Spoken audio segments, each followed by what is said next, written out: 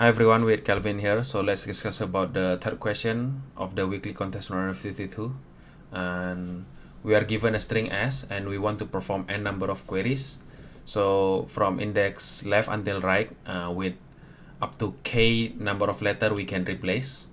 Uh, can it forming a palindrome or not? Um, one important point also we can rearrange the entire substring. So we can say like the order in that substring doesn't really matter so yeah.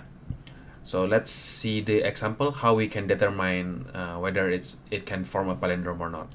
So I have two example here. So first example uh, is we have all, uh, all the letter having uh, even number of member right? So it can form a palindrome like um, this one the example A B C C B A. Um, and if we have one number of odd letter odd, odd uh, like C we have odd number of C right? It still can form a palindrome. So A B C C C B A right? But um, let's say we have even number of letter and we have A equals 1 and D equals 1 this is the frequency. It's not possible to form a palindrome anymore. Same thing for the odd one.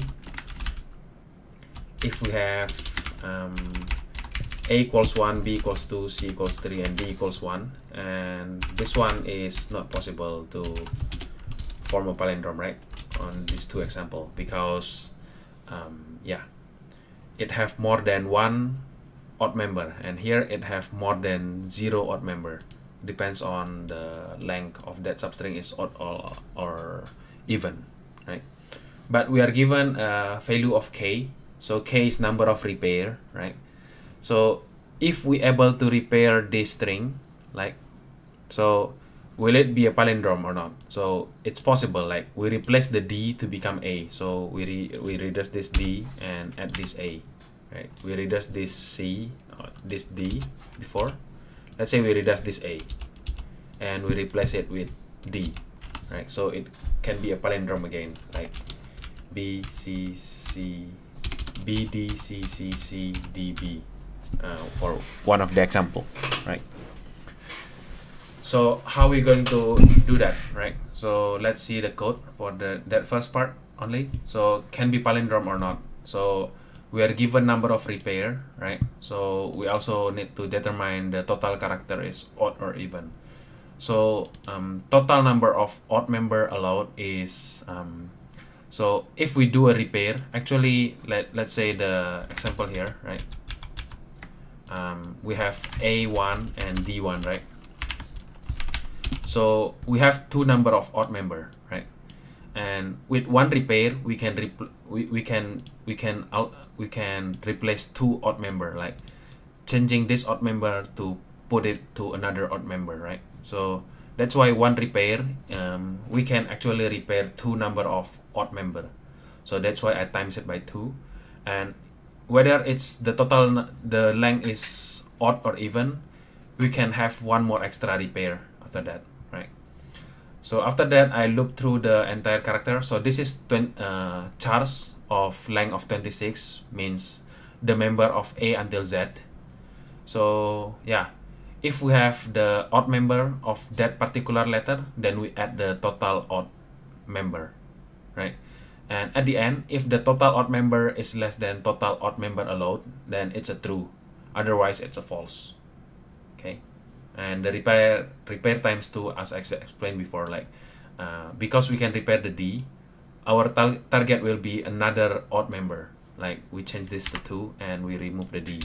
So we get rid of two odd member. That's why one repair can actually counted as two allowed odd member. Okay, so that's the first part. Okay, but only relying on that um, will not be able to solve this question because um, as you can see here, the length of the character, the, the string is 10 power 5 and the queries also is 10 power 5 number of queries. So if we take a substring and calculate it every time like it will be 10 power 10 which is a timeout okay so how are we going to know like um, so the problem here is on each of the queries the substring how we able to know the number of each letter without querying it again and again right? So in that case we can do a prefix sum. So yeah um, as you may know like prefix sum um, let, let's take a look on a simple example here like 5 5 5 6 8 1 okay? The prefix sum will be 5 11 19 and 20 right? So um, the first one is 5 and then second one is 6 plus 5 11 and 8 plus 11 19 and 1 plus 19 20 so what is the benefit of having this prefix sum? So we can know like um, how much is the sum of a certain range like for example I want to know this range like from index 1 until index 3 right from index 1 until index 3 how much is the sum so we don't want to loop it through again when we have a very large um, amount of data in, a, in, a, in an array. So from index 1 until index 3, what we can do is um, sum of index 3 minus sum of index 0. So 20 minus 5 will be 15. So this range, the sum is 15. So what it have to do with this substring problem, right? So on each of the index, what uh, instead of a number, we calculate the number of member inside. So let's say we have a, a now uh, this string a b a b c, right? So and at next zero, we have a equals one. So yeah, um, let, let let's make it something like this, similar, so it's easier for you to understand. So the first index we have a equals zero, right? On second index a equals zero and b equals 0 okay and next one oh sorry here's a equals 1 a equals 1 b equals 1 and here a equals 2 b equals 2 right and here we have another one. C equals 1 okay? So when we want to know the range of index 1 to index 3 here. Zero one two three. Okay here okay? One two three. Two a equals 1 a equals 1 b equals 1 a equals 2 b equals 1 and here is another one a equals 2 b equals 2 okay? So we want to know the range of 1 to 3 right? 1 comma 3 which is here. So what we can do is um, sum of index 0 uh, index 3 minus sum of index 0 right? This 0 is come from 1 minus 1 we, we reduce 1 by it okay? So sum of 3 is this one right? 1 2 3 and sum of 0 is this. Okay. So at the end we get the conclusion of a a equals 1 b equals 2 because 2 minus 1 is 1 2 minus 0 is 2 so in this range we have two number of b and one number of a. Okay. So in this case uh, we just need to form the prefix sum um, by on right? And then after that uh, on every queries we have 10 power 5 number of queries as the constraint here. Um, we just we just need to do a minus with uh, from certain index to some other index.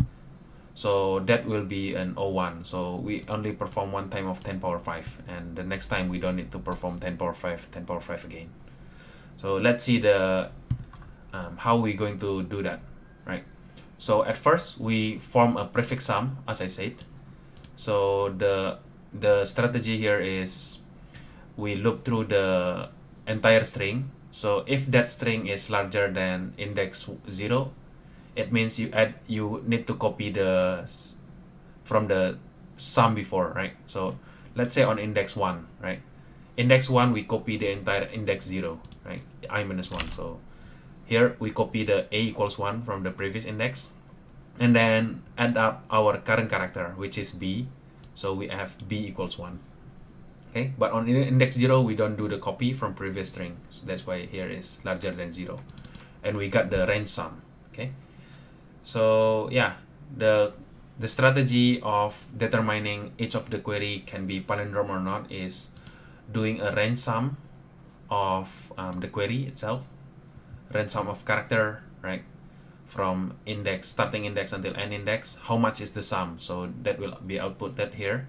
And query 2 is the number of repair is possible. And then we call the call can be palindrome function I explained before. And then it will return a true or false right?